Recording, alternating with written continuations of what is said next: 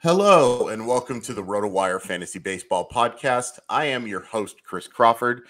Today is Saturday, March 4th, and this episode is brought to you by Underdog Dynasty and Fantrax. I am joined today by my colleague at RotoWire, somebody I've worked with for a very long time, Mr. Ryan Boyer. Ryan, thanks for joining me. Happy to be with you, bud. Let's uh, get into some fantasy baseball. Talk some average today.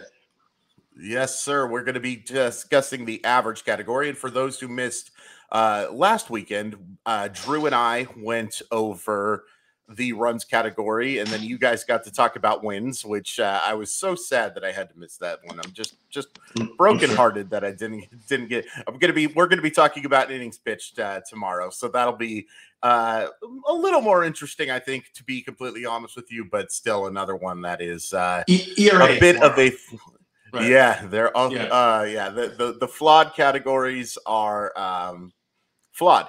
Uh, but yeah, so before we get into this, we want to go over some quick headlines because a bunch of stuff has happened in the last 48 hours, and I think probably the biggest story, and you can it, it we may be overdoing it, and hopefully we are overdoing it.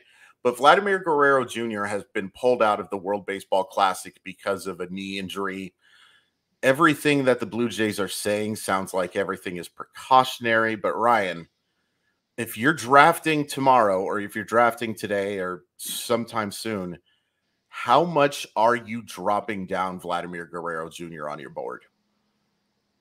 I don't think I'm really dropping him down at all. Um, I mean, you could use it as a tiebreaker, I guess, if you want. Sure. But, you know, knee inflammation seems relatively minor. Uh, no structural damage, thankfully. Um, right. Yeah, I mean, uh, I, I, like I said, I think you can use it as a tiebreaker, but I'm not gonna I'm not gonna move them down my rankings too much at all. So I, I totally understand. That makes sense. Um, by the way, just as we were talking, uh, the Rockies have agreed to a one year deal with Brad Hand on a $2 million contract. We will not mm. be talking about Brad Hand because that has very little fantasy relevance and just became even less relevant now that he's a member of the Colorado Rockies, to be completely honest with you. But I'm going to go ahead and skip to what we had at the bottom because it segues kind of perfectly. Another left handed pitcher did sign and I think there is a chance for some fantasy relevance here. Will Smith agreeing to a one year deal with the Texas Rangers. That closing situation seems pretty fluid to me, Ryan. Do you think Will Smith has a chance to be getting saves for the Texas Rangers? And is he someone you have to consider now in a redraft format? Uh, I think in 15, probably plus team leagues, um, I would consider him. I still think Jose Leclerc's probably going to be the guy. Um, Same. He's he's dealing with a little bit of a neck issue right now, but that seems mm-hmm. relatively minor. I think he was actually pulled out of the WBC as well. But correct, teams are going to exercise extreme caution um, when it you know if their players are dealing with current injuries, they're not going to send them to to the WBC. Um, yeah, Will Smith is he wasn't very good last year. No, uh, he was not he really wasn't that good the year before. He, but he kind of saved himself because he pitched so well in the playoffs. Mm-hmm. Um, but you know, he's been a lockdown closer at times in the past, but that's hasn't been really been the case for a while. And you know, look, you look at the contract. I think it was two and a half million, two million guaranteed. I know there's some games finished incentives in there, but I feel like most relievers get some form of that. So I don't think it sure. necess- necessarily means that he's going to be in the thick of things for uh, for saves. Um, I don't know that the Rangers are necessarily going to settle on one guy. Bruce Bochy, as far as I remember, feels like it's been a while since we've seen him, but he usually yes. he usually likes to stick with one closer. Yeah, uh, so maybe so maybe they do. Guy. I would, yeah. Um, I would pick Leclerc to be that guy still, even with the Will Smith sign. Yeah, I, I, think so as well. I think Leclerc is still the pl- reliever that I'd be targeting here. This seems more like to me a Brett Martin replacement than anything that's going to be um, super fantasy relevant in terms of saves. But there's you know, no replacement. There's no replacement for Martin. That's a fair point. that is a fair point. You can only you can only hope to contain your replacement of Brett Martin to go back to the Sports Center thing.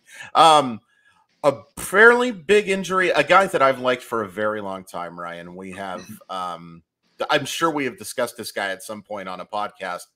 Brendan Rodgers likely going to have season-ending shoulder surgery. It looks like Ryan McMahon is now going to be playing second base. Let's just kind of break down quickly how much fantasy relevance this has. And also, is Brendan Rodgers somebody that you just got to kind of avoid now until he shows he can stay healthy and actually put together a full season?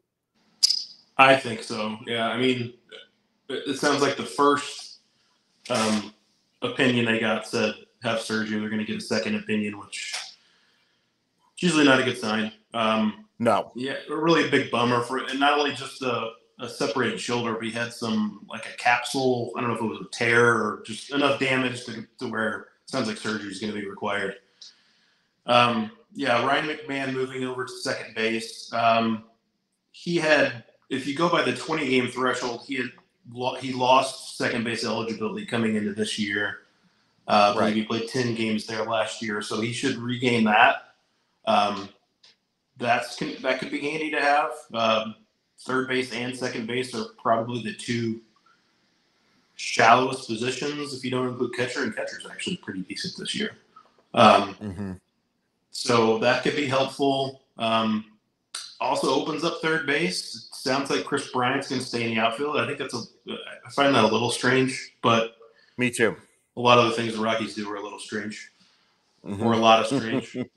um, yeah. So uh, bats available at third base. It looks like uh, Nolan Jones and Elehuris Montero probably uh, firmly in the mix there. Um, I'm not honestly not sure out of those two guys I prefer. I mean, the, there could be a natural platoon there just because Nolan Jones hits lefty and Montero hits righty. Uh, right. Nolan, uh, you're the prospect guru here. Um, uh, so remind me, he was kind of yeah. moved off of third base mainly, mainly just because of Jose Ramirez, right? Like Jose like Ramirez, a, yeah. He wasn't like a butcher at third base, right? He was fine. No, I mean he wasn't. He wasn't Nolan Arenado with the glove or anything like that. But he can certainly handle. Okay. I think third. So base. not a um. So not a not a stretch to think he can pick it right back up, even though he hasn't played there in a bit. No, absolutely okay. not. And uh, you know, this is interesting too because Drew mentioned Nolan Jones as his potential uh average category sleeper guy, and I like that pick as well, especially actually in on base percentage leagues. I like him. He has an excellent approach. He's walked just an absolute. He might be a little bit too passive, to be honest with you, on the on the uh at the plate, but I think that in the concern here was power Coors Field has a funny way of making power being awfully, uh, awfully. T- they, it tends to make grades go up an awful lot when you get to go yeah. play in those friendly confines. There, it doesn't work for everybody. Hashtag Garrett Hampson, but it can absolutely be something that really helps you uh, in that category. But yeah, I like I like both those guys. I like Montero and I like Jones. I think both of those guys would makes it especially like in an NL only league to like target towards the end. But I do think sure. this is one situation where we're going to need um, a little more clarity. But man, Brendan Rodgers was one of my absolute favorite dynasty prospects, and I've seen those flashes of brilliance from him, uh, both in the minor leagues and the major leagues. But at this point, I just I, I gotta ignore it. I, I there's just no and he's he's not exactly a spring chicken anymore. Eh, this is not yeah. a. Uh, it's certainly possible that he turns things around, but he's a player that I think that basically has to be ignored in in redraft formats right now. Yeah, and he's at, at one time it looked like he in the minors could be a base stealer. I believe he's still yet to attempt a single stolen base at yeah. the league level, which is that's that's kind of kind of crazy. Maybe he was going to this year with the new rules in effect, but um, yeah, I think Brendan Rodgers is uh, certainly in redraft leagues, and you got to pass now. And dynasty is a big hit too. You never know how he's going to come back from a sh- major sh- shoulder surgery. Yeah, I mean shoulder surgery. We we talk about it with pitchers being like the death sentence is too strong of a term, but in obviously it's a, a huge deal. It's a big deal for hitters too. You're using your shoulders for an awful lot of stuff. Uh, and then quickly before we get into the to talking about the average category, Andrew Painter, who is ranked by many as the top pitching prospect in baseball, uh, I have him one spot below Grayson Rodriguez, being reeval being evaluated for I believe they called it tenderness at first, and now they're calling it uh, soreness. Either way, it's bad news. I know a lot of people were really considering Painter as a potential fantasy sleeper, but if you're drafting today, Drew, is this somebody you just got to ignore? Um, no, I, I, I think we need to hear more info. I mean, it could be minor. It's an elbow, so we're we automatically throw up alarm bells. I mean, you yes, young pitchers that throw as hard as he does have a tendency to right. get hurt. Unfortunately, yep, um, sucks. So that makes it even more worrisome. But maybe we get good news. Maybe it's just your uh, garden variety inflammation, and he can just be shut down for a little bit. I mean that. I thought he had an outside chance to break camp as part of the rotation. Uh, I actually like Bailey Falter a little bit. Um, mm. I think he'd be he'd be a perfectly fine number five, but I don't think he would stay in the paint Painters way if they decided he's ready. So, right, I think he could have broken camp if he would have wowed uh, in uh, in Grapefruit League play, but that's certainly out the window now. Even if they get as good as news as possible, I think. Um, let's, let's just hope that there's no uh, no UCL damage. Yeah, absolutely. That's that's it's obvious point is obvious, but that's obviously the biggest thing is hoping that this is not a long term injury. And you know, for people who I definitely know some people who drafted him in the late rounds. And like you said, Bailey Falter's a nice pitcher uh, for a, the very back of a rotation. Christopher Sanchez as the sixth starter is not something that is um, going to keep Andrew Painter from making the major league roster. But I do think the Phillies will probably be very cautious with Painter now, making sure that everything is 100% because he is a massive part of their future success. Him and Mick Abel are two of the better right-handed pitching prospects in baseball. Painter has a chance to be really special. I again, I still have Grayson Rodriguez ahead of him, and I have I have a kind of a big three with Grayson Rodriguez, uh, Andrew Painter, and Eury Perez of the Marlins. Those three guys I think are going to be excellent fantasy options, and I expect all three of them will have fantasy relevance this year. But yeah, you just kind of have to, unfortunately, take a wait and see approach with Painter. Okay, so let's get into this average category, which is I got to be honest, we did runs last week, and it wasn't not fun, but I think average is a lot more fun. And the first thing I want to ask you about, Ryan, is uh, I don't know if you heard this or not, but there's new rules in baseball. And one of the rules that is coming into play is the limiting, not the banning, the limiting of shifts. And what I want to ask you, Ryan, is how much do you think averages are going to be impacted by the limited shift? and does it change how you look at the category? So I, I think um, just on a mi- macro level at the around the league, I, I don't know that we're going to notice a huge difference. Uh, mm-hmm. I I do think it certainly will impact certain types of players.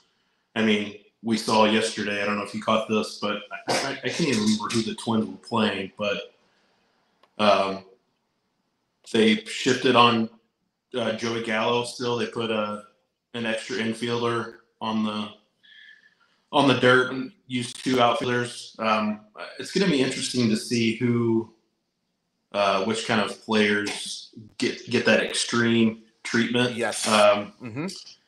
I don't think it's going to be widespread. Uh, a guy like Matt Carpenter also comes to mind. He had like a 60% pull rate last year, which is just insane.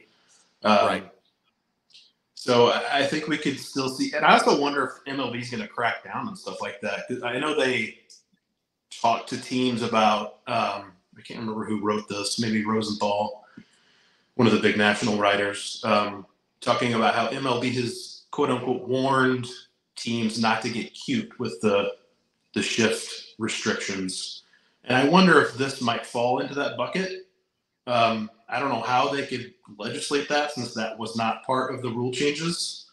Correct. Um, but to get back to your original question, you know, we we saw league wide the average was 243 last year. That was the lowest since two, uh, 1968. The famous wow Bob Gibson 2.1 1.12 ERA. Yeah, he's uh yeah. he's over my shoulder by the way. Bob Gibson picture somewhere. Um, beautiful. Yeah, and that was the last year with a raised mound as well. So it's been batting average around the league has been steadily declining. That's part of the reason why you know they wanted to institute this. Uh, as far as fantasy goes, you know, it took roughly 260, 265 in that range to kind of finish at the top of your league usually. Uh, you know, I, I think that could go up a little bit. I also don't know if you should necessarily. I think targeting average specifically in a draft can be a little dangerous.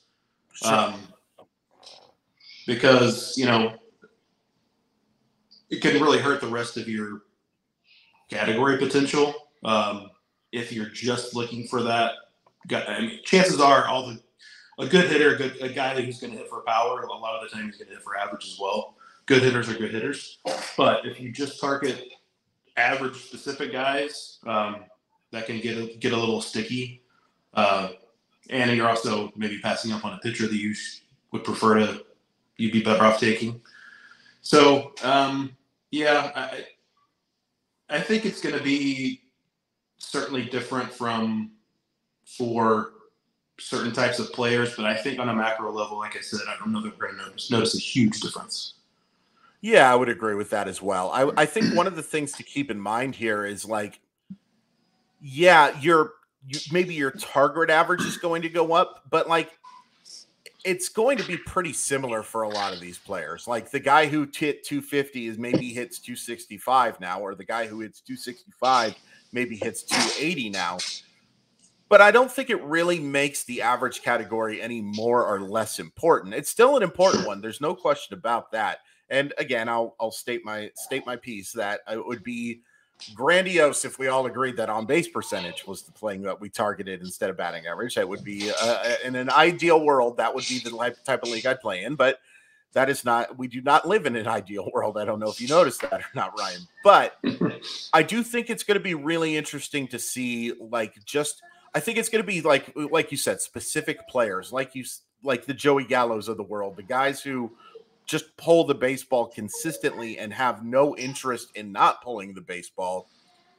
If those guys are going to be, I'm not saying that they won't become, uh, I don't want to say they become dinosaurs or anything like that, but it's going to become a thing, I think, where it's like making contact to the opposite field and hitting the ball up the middle is going to be so much more important, especially because, like you said, you know, they're playing with um, these rules right now. I, I talked about this with David Roth actually the other day about how much fun it would be to have Joe Maddon managing one of these teams right now because he saw him put out some absolutely wacky infields and outfields right now. I wonder what exactly he would be doing. Um, I think Angels fans are just fine with him not managing a baseball team right now. To be completely I, honest, I am. I am well. too.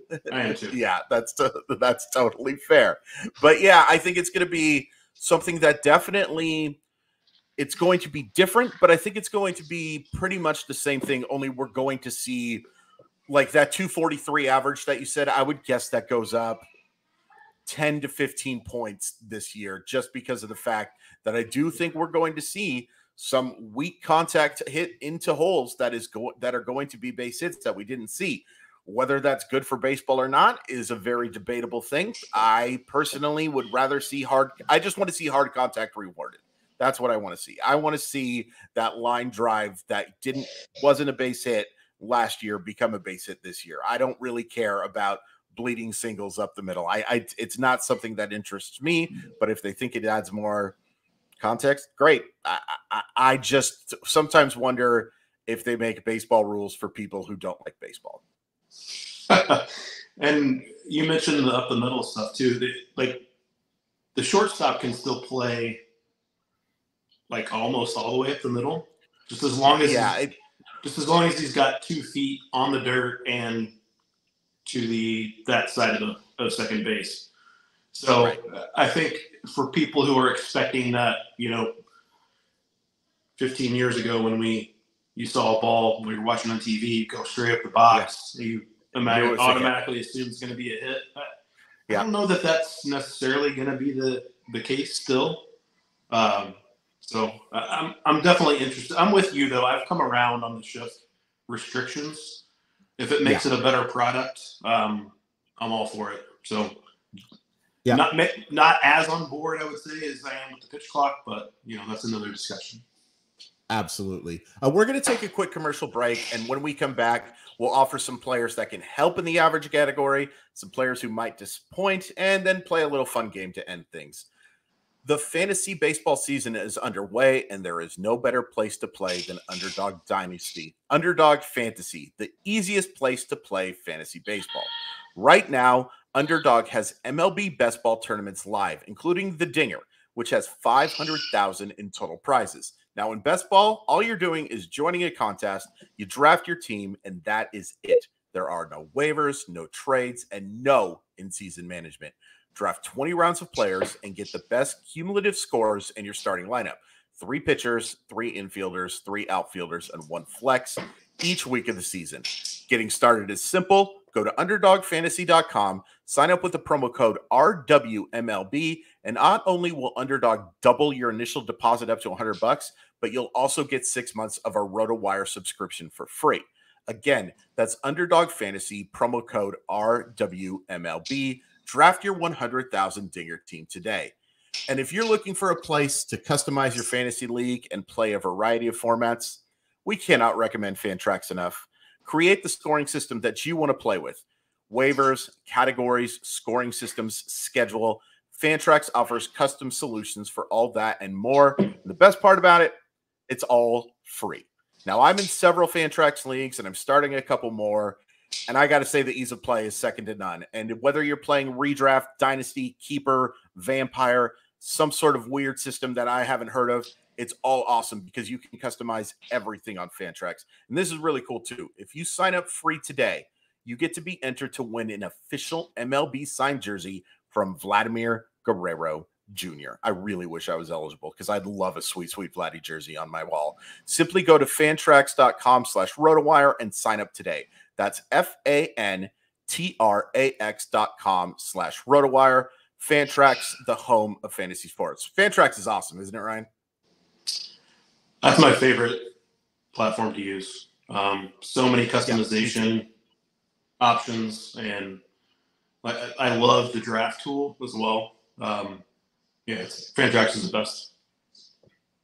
Yep, absolutely. And you know, we would say it whether they were sponsoring us or not. We would don't tell Fantrax that, but we would absolutely love to uh, get the word out there. Fantrax is a great place to play.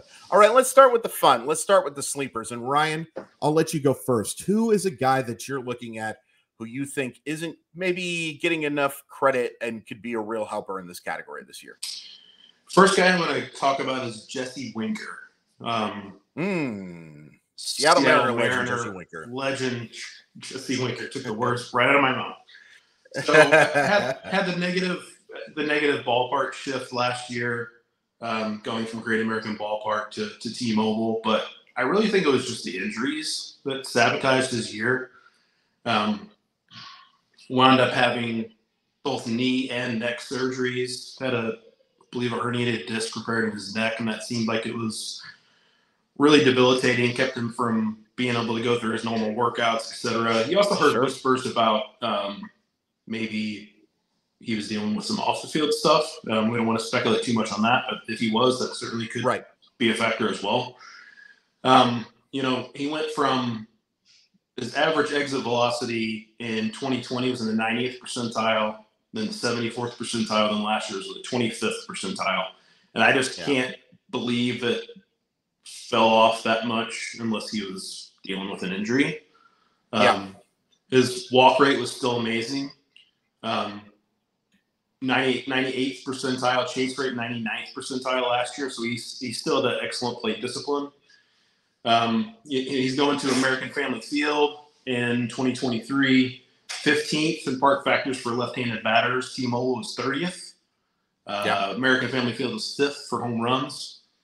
Um, you know, Winker just in 2021 hit 305. He's a uh, career 288 hitter pre 2022. So going to a more favorable park.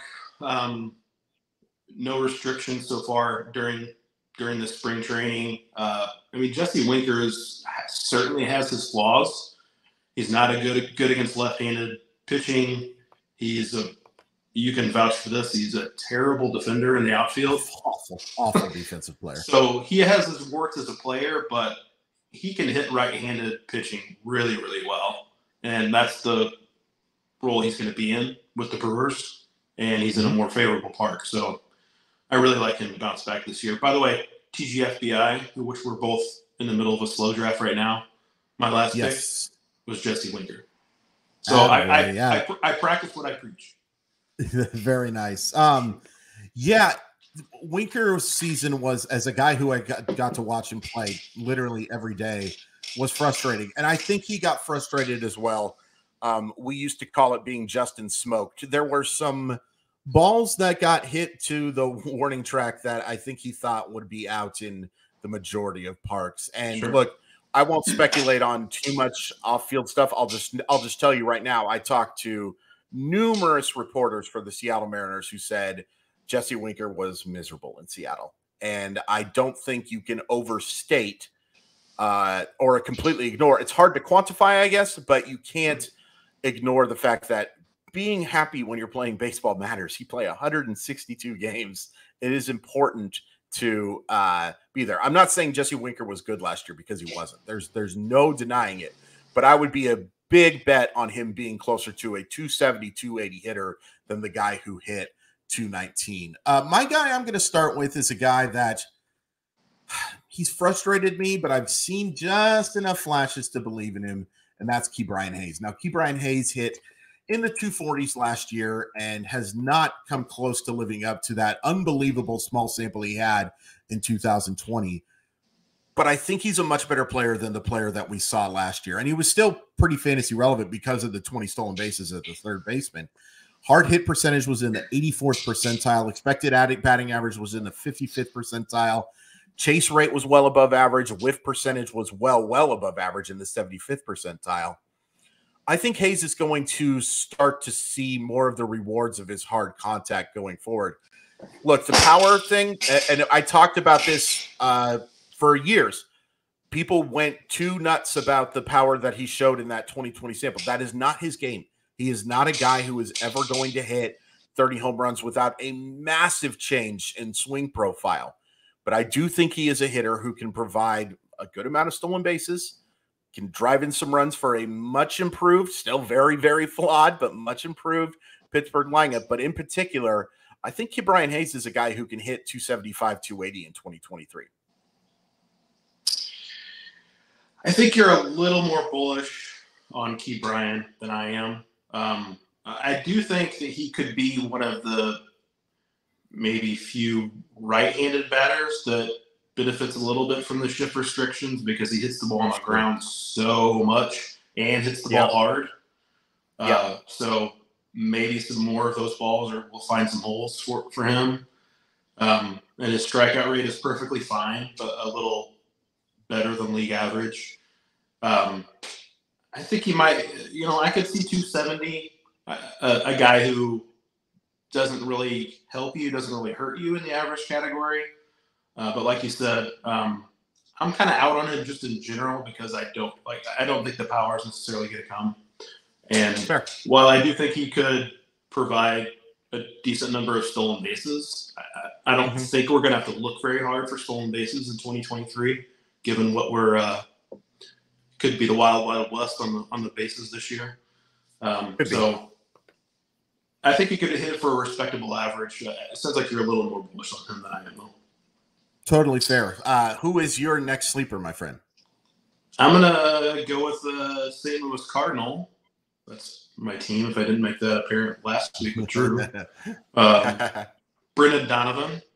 Um, you know, he hit, he hit 282 his rookie year, which is really good already.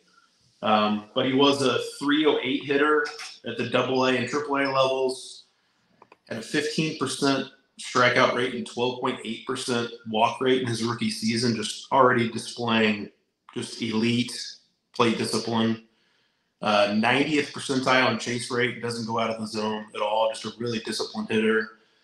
And I'm interested to see how this new swing is gonna gonna work out for Brendan Donovan. Um, he apparently worked on, um, I, I, believe it's is it Mariucci at the the places in Louisiana, the hitting lab factory, whatever.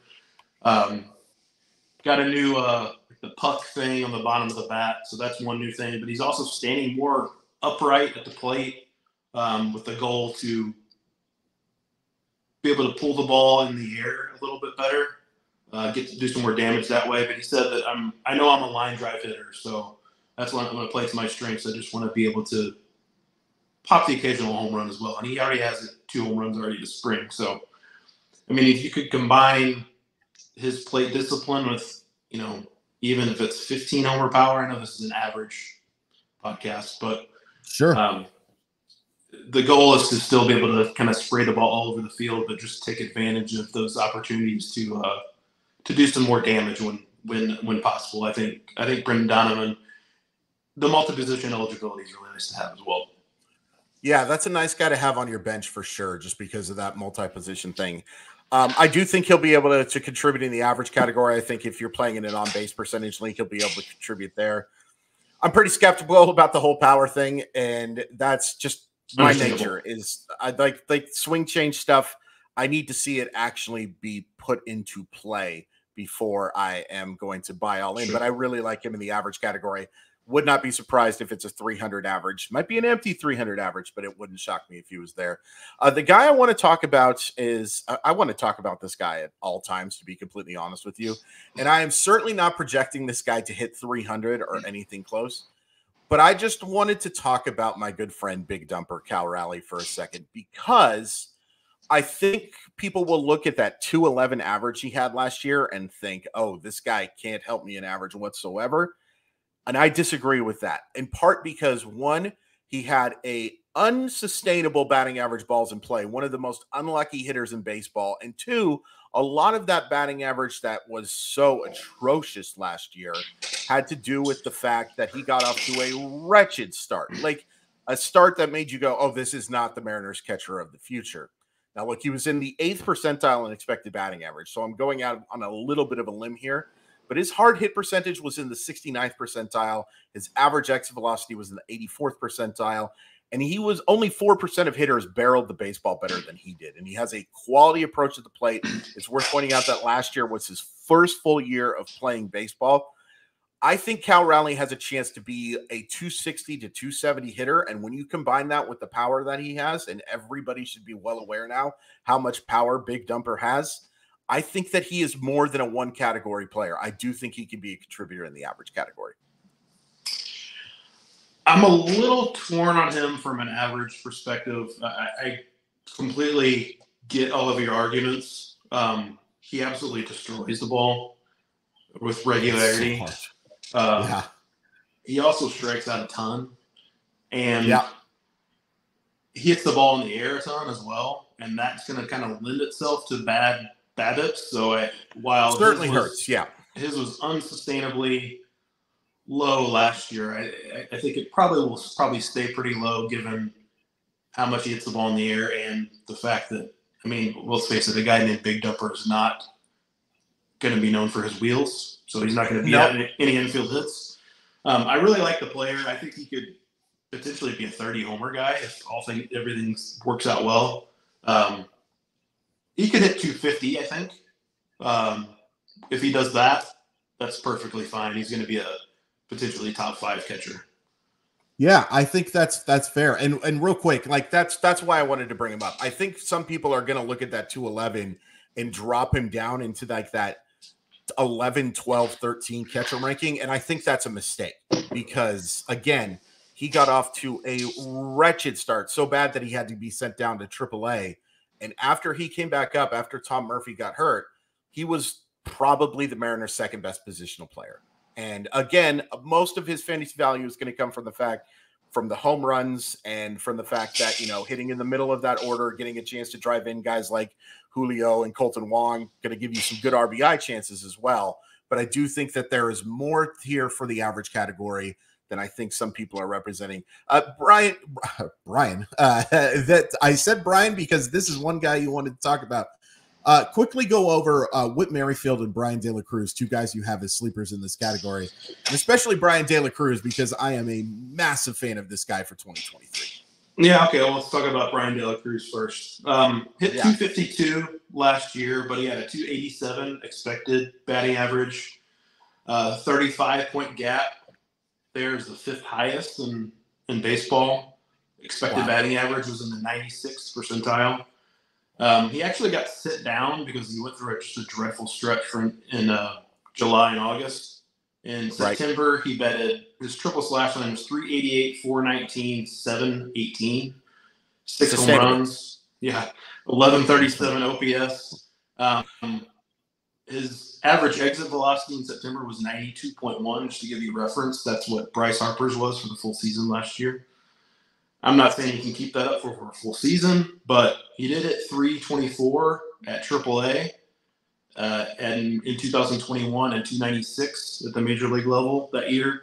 Um, he was Bryan De La Cruz was kind of a late blooming prospect a little bit. Um, I don't know that the Astros totally believed in him. That's why they were happy to deal him for Yimi Garcia a couple deadlines ago. Um, but I'm encouraged, certainly, by how he finished the year last year. The Marlins are going to need that offense. Um, they have other guys that they're pay, paying more, but I think are probably not as good of, of a players as Bryan De La Cruz is right now. So, right, interested in Bryan De La Cruz. I'll quickly move over to Whit Merrifield as well. Um, I mean, I was out on Whit Merrifield basically his entire career, but I think his prices dropped to the point that I'm kind of back in now. Sure. Um, I mean, he betted 250 in 2022, but guy's a two, career 285 hitter. Um, once he got out of Kansas City, went to Rogers Centre, he 281 at Rogers Centre down the stretch. And one kind of sneaky thing about guys like Whit Merrifield that get a ton of at bats and don't draw many walks is if they're good and average, that's going to help you even more because uh, yes. they just rack up all those at bats and not they're not drawing walks. So, I mean, even if he's not the 300 hitter that he's been in the past, if he hits 280, 285 with you know all those plate appearances, the multi-position eligibility. He's kind of sneaky good at a target at this point, um, mm-hmm. and no longer overvalued as he was for many years. Yes, it's it's. I think people are well overreacting to like like you said. I was pretty low on not low on Merrifield, but I was always hesitant about drafting him as high as he usually went, just because you know he was basically a two category player who often got drafted in like the second or third round sometime because of the stolen base tax. There's no question about it. But yeah, I like Merrifield quite a bit in the average category and a guy I should have brought up in the runs category as well because I think Toronto's going to score an awful lot of runs and his speed is going to be relevant there for sure. All right, let's do the not so fun thing and let's talk about some guys that we think are maybe going to disappoint in that category. And I'm going to start with one that I don't love starting with because it's a little bit more gut feeling than it is like backed up with stats. Nathaniel Lowe, uh, I just can't see him being a 302 hitter again. I can't. I, I think he's going to be a solid first baseman again. And I think the fact that the Rangers should be a better lineup in 2023 helps his overall profile but I am not betting on him being a guy who was like among the league leaders in average again. And again, the metrics backed up that he deserved what he got. Expected batting average in the 89th percentile, made hard contact 75th. I mean, that's not elite, but it's certainly solid. Uh, I also am a little questionable about a guy who doesn't walk a ton and also was below average in strikeouts, 47th percentile in whiff rate, 51st in chase rate, which again isn't abhorrent, but it's not exactly what you're looking for. I think he's closer to a 270 type hitter than a guy who's going to hit 300. And so if you're drafting him, expecting him to give you that big boost in average, I think you're making a mistake. Yeah, I'm with you. It's interesting how, how his season last year, like he got super aggressive. Um, mm-hmm. Swing rate was up at 52.2%, which is way up. Way up. He, he swung at 41.3% of first pitches, which is just a crazy high rate. Yeah. yeah. Uh, and his walks were way down. His strikeouts were also way down. Um, it, it just it, it feels a little like everything doesn't really fall into place like a puzzle. Like it, th- that right. shouldn't have equated to, and he did it like mostly in the second half. Um, mm-hmm. So, yeah, I, I, think Nathaniel Lowe could be perfectly fine. Um, not a 300 hitter. I'm with you. More like 270s. What I'm what I'm counting on. Absolutely, uh, Ryan. This is a guy we talked about in the bust and the run category as well, and it's funny. Don't don't make me don't make me talk bad about this guy. I really don't want to talk bad about this guy, but do it anyway. Yeah, Michael Harris, love the player. Um, I think he could be a superstar. So I'm getting ready to Me talk too. bad about him. The guy who could be a superstar. Yeah, 297 his rookie season, uh, only a 268 expected batting average batting average in balls in play was 361. Um, chase rate of 39% was in the seventh percentile. He went out of the zone a whole heck of a lot. Very aggressive uh, hitter. Yes. Um, you know, it batted 238 with a 30.4% strikeout rate versus left handed pitching. So, I mean, he's not going to be a platoon player, but he really does pretty much all of his damage against right-handed pitching. Yeah. Um, you know, I just love the player so much. Like I, I, will say this about Michael Harris: we we don't know what he's going to be yet. Like he's, I think, in like three days, going to turn 22 years old. Like he's just freakishly talented. I have no yeah. arguments about that well, like we don't know what he's going to be over the long haul, but what he showed in 2022, as good as his season was, there were some red flags. So 100%. on paper, on paper, I think you have to consider him a potential bust for this particular category, and like you mentioned, runs as well. It could eventually move back down the, in the batting order as well. I'm assuming that was your main argument there. Absolutely. And the fact that we do we have some question marks about how just how much he's going to get on base, even if he is sure. like it certainly helps that the Atlanta lineup is really good. Like no question about it. He could score a bunch of runs even if he's sitting seventh or eighth, or he could hit 290 if he's sitting seventh or eighth. It's entirely possible that Michael Harris is a better baseball player in 2023 and puts up much worse numbers. That's just the way this works. Like he was fortunate to have the results that he had. Now he also flashed unreal ability. And I will say this, I'm doing the opposite of what uh, you did with uh, uh, Jesse Winker. I took Michael Harris in the second round of my uh, of my TGBI draft. I took him with the 28th pick, which is really it's kind of a high third, but because there's so many players in leagues right now, mm-hmm. it, it technically counts as a second round pick because I do think everything has a chance, especially stolen bases. I think he's going to be definitely somebody we mentioned in the stolen base category. He has a chance to be really special there. There's just such a wide range of outcomes there that I would push him below some other guys, especially in the average category, because he's going to be relying so much on some BABIP luck. It totally could come. He's going to beat out a lot of them but it wouldn't shock me if he was closer to a 260 to 270 hitter. Yeah, I mean, his, with a similar profile. His average could drop 30 to 40 points and he could still be a really good fantasy player. So a hundred percent. Yeah. Yeah, absolutely. Yeah. Uh, the other guy I want to talk about that I have absolutely really, no backing for based on what he did last year. That's why you come to these shows is for basically our gut feelings on totally on the stuff. Uh, Taylor Ward is a guy that had a, a a really really strong season that I think probably didn't get talked enough about. Hit 281, 360, 473, 23 homers, 65 RBI. That'll certainly play. It's funny we talk about uh, the Angels' lack of uh, offensive help around Ohtani and and Trout, and we kind of conveniently leave out Taylor Ward having a really good season.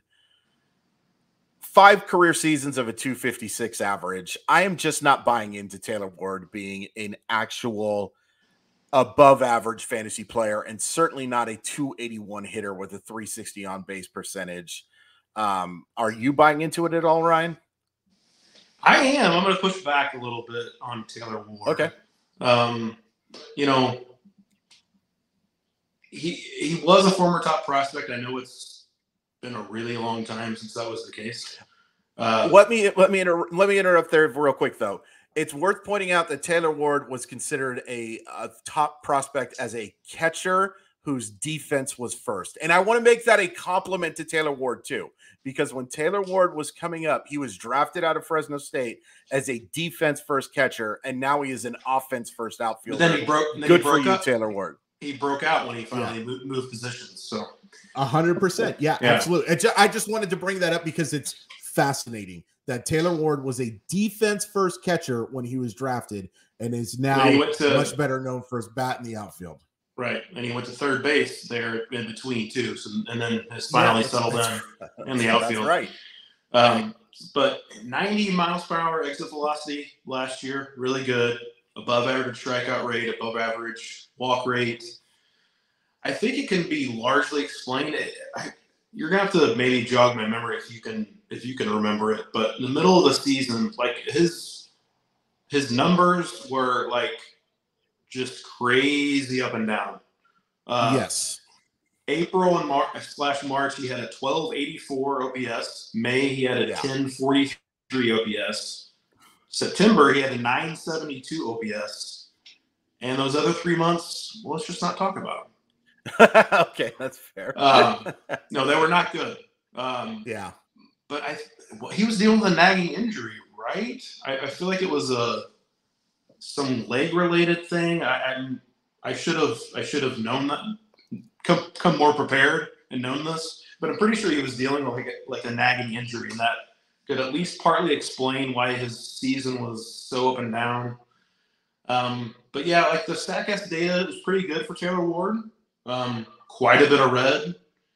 I know this is an average thing, but I really like him hitting at the top of the Angels lineup. I actually think this is famous last words, probably, but I actually think the Angels might finally be pretty good this year. Uh, I think he's going to score a bunch of runs. I think he's going to hit for a decent average. Um, so pushing back a little bit against uh, your your hate on Taylor Ward. This is gone.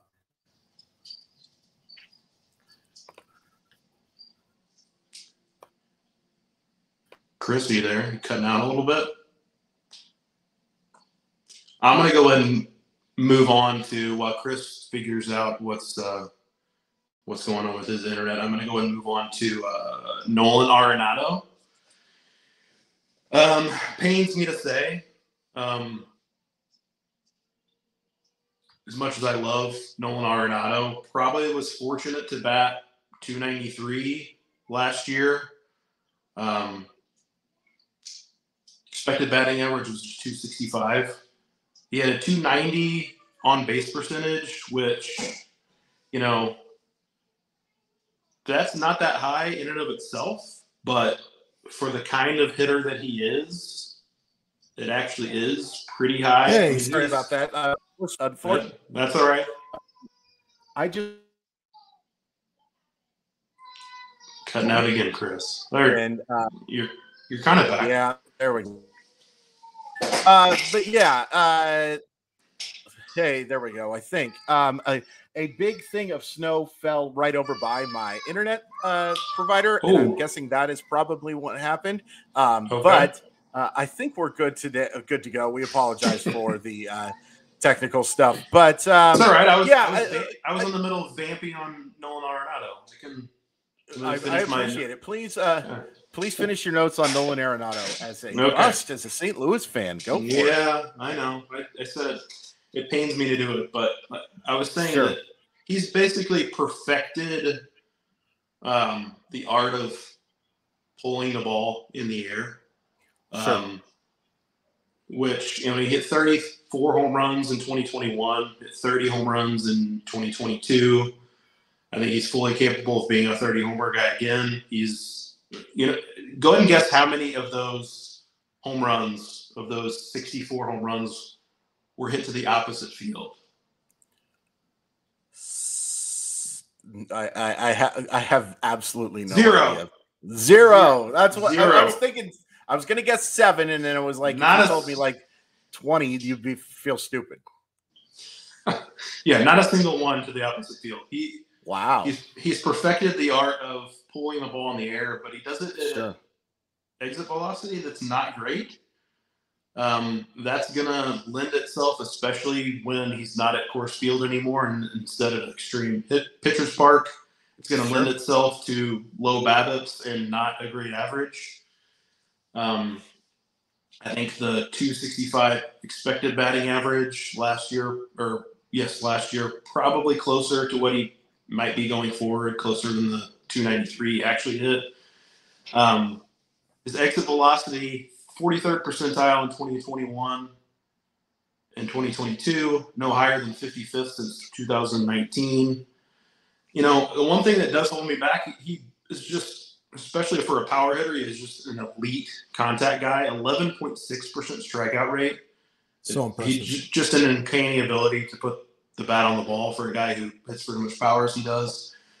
But his hitting profile is just doesn't necessarily lend itself to batting average. So I, am right. expecting a pretty notable drop in that category, while him still being a very good hitter at the same time. Yeah, totally. Like he can be fantasy relevant, like you said, with that 265 batting average. But if he hits 265 and you're drafting him, I've seen him go as high as the third round. I think that you're going to be pretty darn disappointed. Like, I think the home runs and the RBIs will be there enough that he won't be anything close to a fantasy bust. And I do like the St. Louis lineup as much as it pains me to say for you and Drew that it, will be, I think, a, a solid, if unspectacular lineup. But I don't know if you're getting top 30 production if he's hitting 260. I think a lot of it has to do with the fact that he's there's kind of a tier drop, not kind of a massive teardrop, I would say, at third base after him. You could That's probably argue. Point. You could probably argue Alex Bregman is you know, a little behind, maybe close to Arenado. But then after that is a really big drop at third base. I think that's why Arenado is getting pushed up, or maybe that's, not. That's a, that's maybe not totally point. warranted, but that that at least explains it.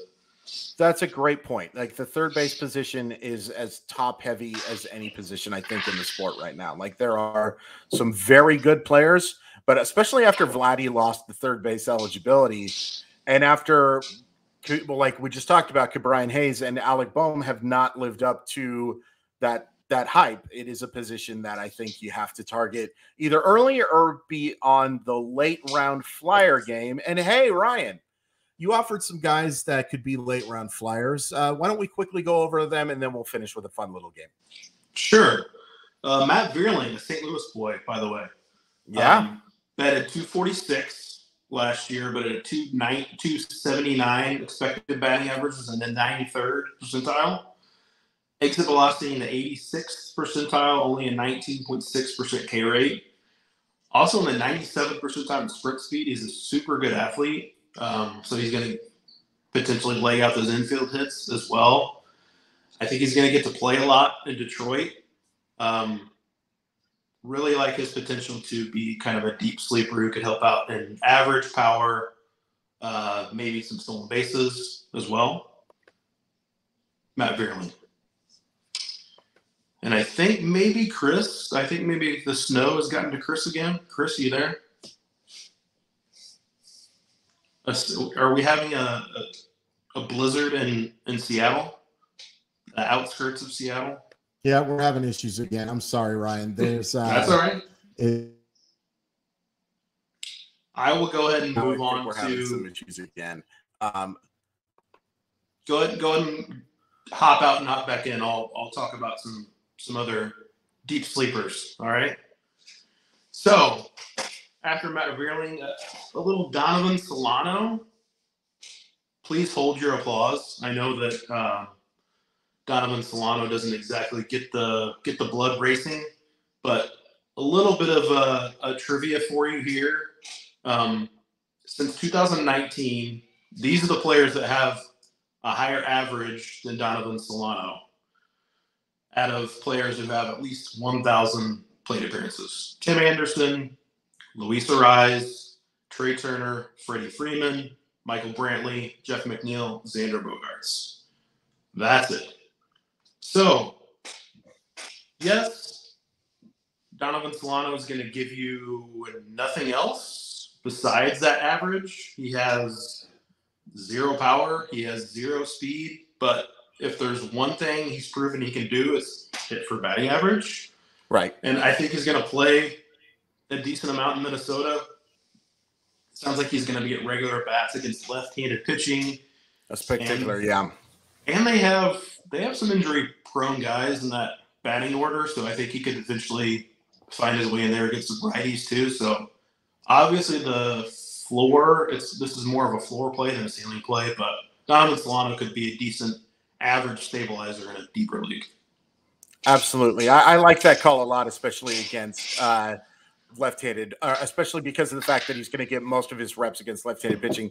Minnesota's lineup's really weird. I- I think they're kind of Yeah. going for the Minnesota or the Minnesota. Minnesota's going for the Minnesota lineup. Uh, Minnesota's kind of going for the Tampa Bay look of like just platoon the heck out of everything, and we have matchups for all of these guys. It's going to be really curious to see how that all plays out. And again, I know people don't like hearing apologies, but uh, apologies about me dropping out there for a second. Let's end with a fun little game, Ryan. I'm going to ask you who has a higher average for three different types of categories. I want to start with the guys who finished neck and neck for the batting title, and I hate calling it the batting title. Leading the league in average is what we should be calling it. Freddie Freeman, Jeff McNeil, who has the higher average? I mean, I'm not going to pick against Freddie Freeman. Yeah. Um, I realized that McNeil edged him out last year. I think he did he McNeil sit out like a suspicious number of games down the stretch and wound up beating Freddie Freeman by like one point in average. Point zero zero one. Yeah. Yeah. Um, but you know, he edged him out in uh, in 2022. But over the last three seasons, Freddie Freeman is at 317. If there's any, uh, his swing is just tailor made to hit for average. So he's just Yeah.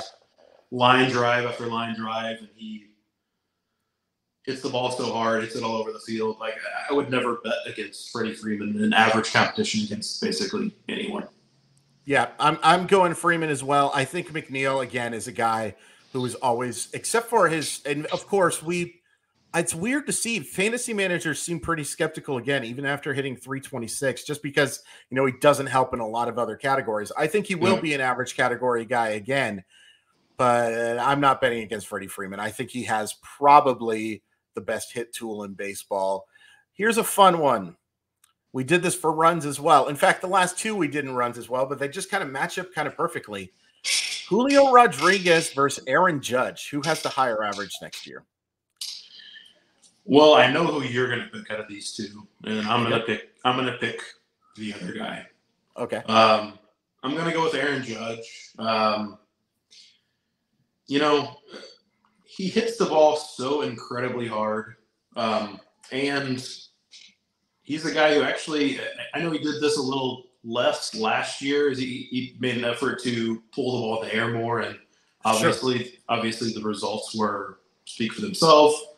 But he hits the ball to the opposite field a good amount. I think he could benefit a little from the shift restrictions. Um, hit 311 last year. You know, Julio's going to have the benefit of being able to lay out some more infield hits. Sure. Um, obviously, a they're both extremely talented. I would uh, give the edge to Aaron Judge. I'm going Aaron Judge as well.